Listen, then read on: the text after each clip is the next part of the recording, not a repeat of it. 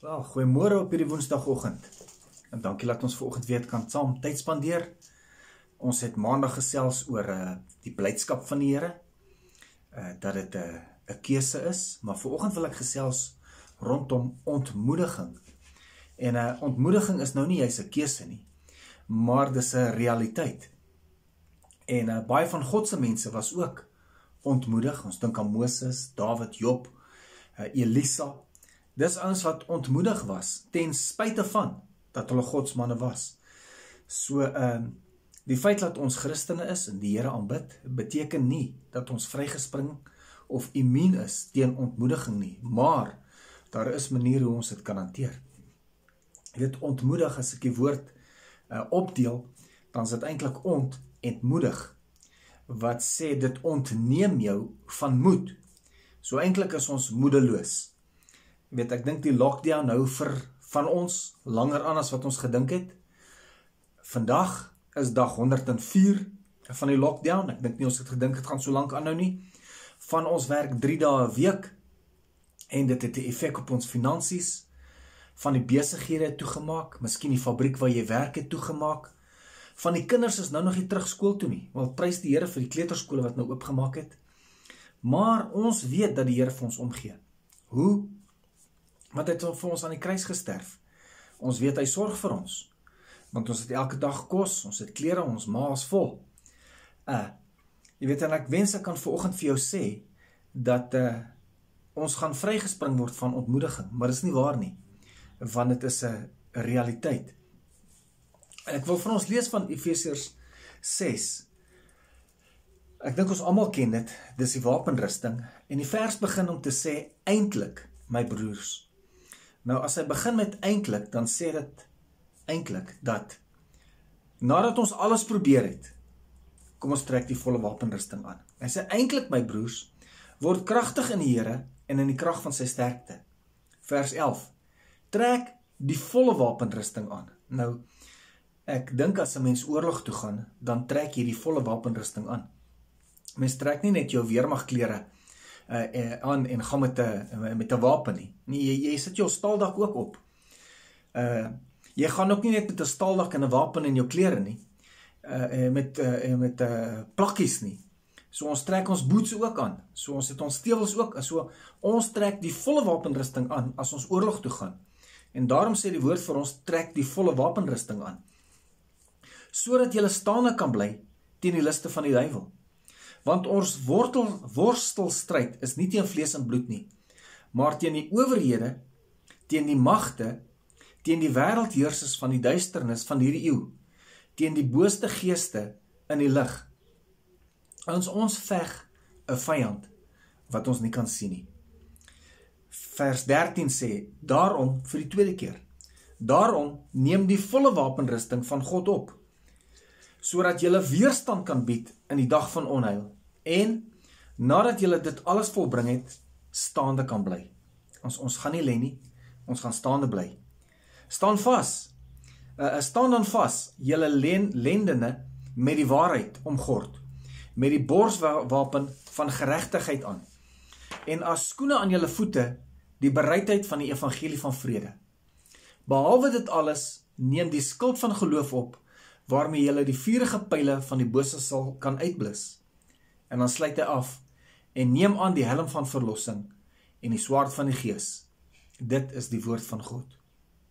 Nou hoe oorkom ons ontmoediging? Ek het al 'n paar punte gaan dink uh van wat kan ons doen om nie ontmoedig te word nie. Uh nou eerste ene is weerstaan die duiwel. Jy weet, wees sterk. Staan vastig in jou geloof. Um want die woord sê die, Ons geloof is ons skuld. Werp ons bekommernisse op hom. Jakobus 4:7 sê onderwerp julle dan aan God. Weerstaan die duiwel en hy sal van julle vlug.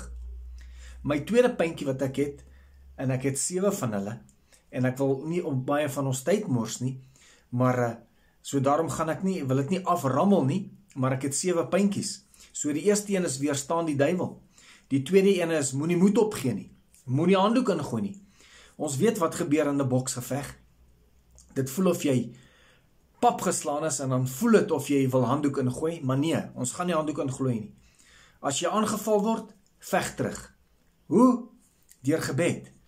Bid God se woord. Weet, Jesus self is deur die duiwel in die uh um woestyn versoek. Hoe is hy versoek? Die duiwel val hom aan met die woord. Maar hoe het Jesus die duiwel oorwin? Hy gee gee vir hom koteer vir hom skrif terug. Uh jy weet die woord sê 2 Korintiërs uh uh 10 Hoewel ons in die vlees wandel, voer ons die stryd nie volgens die vlees nie. Want die wapens van ons stryd is nie vleeslik nie, maar kragtig deur God om vestings neer te werp. Vra ander ouens om saam met jou te bid. Ek weet ons kan nie by mekaar kom nie. Doen 'n doen 'n Zoom gebed of eh, stuur dit WhatsApp. Maar kom ons bid saam. Vra ouens jy's nie alleen nie. Jy weet ek lees gisteraan 2 Konings 6 vers 15 waar uh, Elisa en sy dienaar omring is um deur 'n deur 'n leer. En uh die omstandighede was nie goed nie. Ek meen as ons na alles kyk, was die odds teen hulle gewees. Maar Elisa sê, Here, maak tog net sy oë oop dat hy kan sien.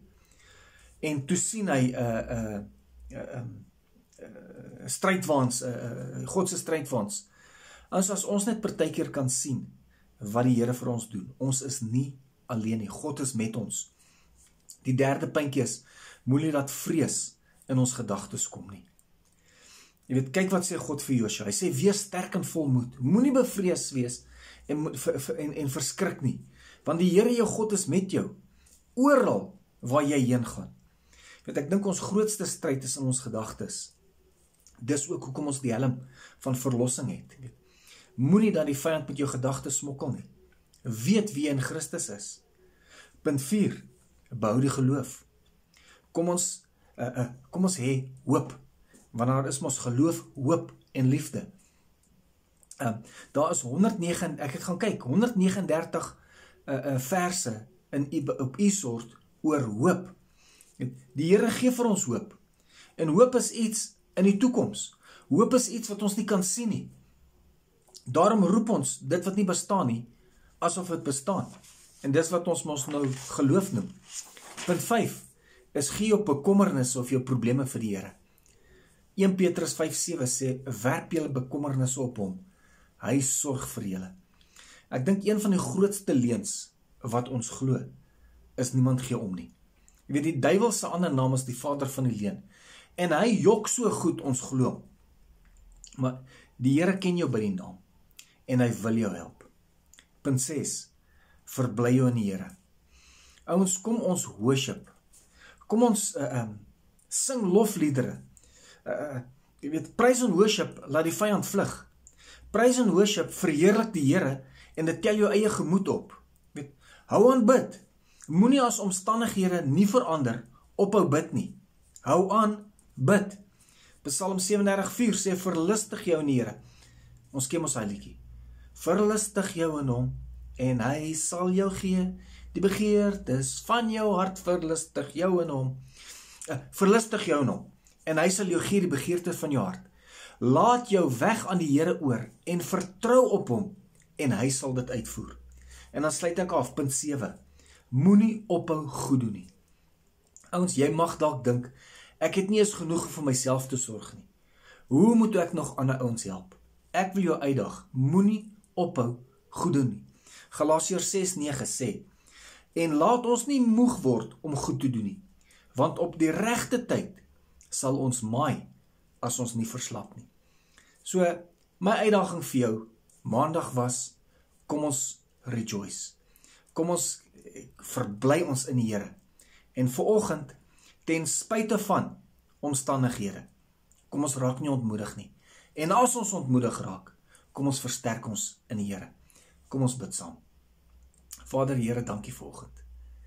Dat U vir ons skrif gee, dat U vir ons woord gee en dat ons weet, Here, U gedagtes van ons vir ons is nie van onheil nie, maar van vrede en 'n hoopvolle toekoms. Dankie dat ons die volle wapenrusting vanoggend kan kom aantrek waarmee ons hierdie stryd en hierdie dag kan ingaan en weet Here, ons is nie alleen nie.